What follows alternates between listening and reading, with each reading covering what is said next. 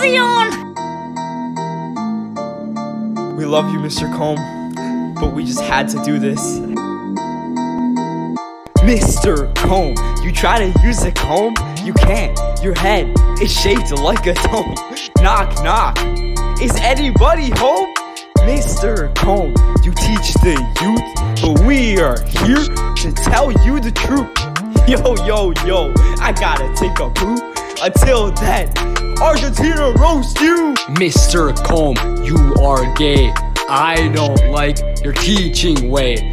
I really like Mr. Baker. At least his ball spot isn't an acre. You want us suspended, but guess what? Your career just ended!